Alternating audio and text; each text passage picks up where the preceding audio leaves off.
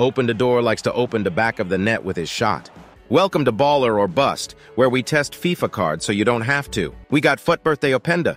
We acquired Openda via SBC for 275,000 coins. If you need coins, go to U7Buy, use code ZADE for 6% off. Now, the 5-star skills is the fun choice, but the 5-star weak foot is smarter and the she dynamic is cold. This Openda plays like Openda plays every year. He makes great runs, he's very fast, decent physicality, but lacks much passing or dribbling ability overall. He's got an average body type, so his left stick just isn't that good. He's got technical, which is the best way to dribble with him. He does have good composure and reactions, which is nice. His finishing is decent, you have to hit it right with him because sometimes he does hit them a little weird.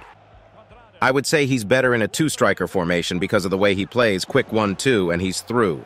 He lacks passing ability, not a guy that hits long shots. He's a guy you just spam through balls to. He's got quick step plus and rapid with max pace, and his attacking AI is pretty good. Not a guy that gets involved in the build-up, but he's a guy that can spread the defensive with his runs.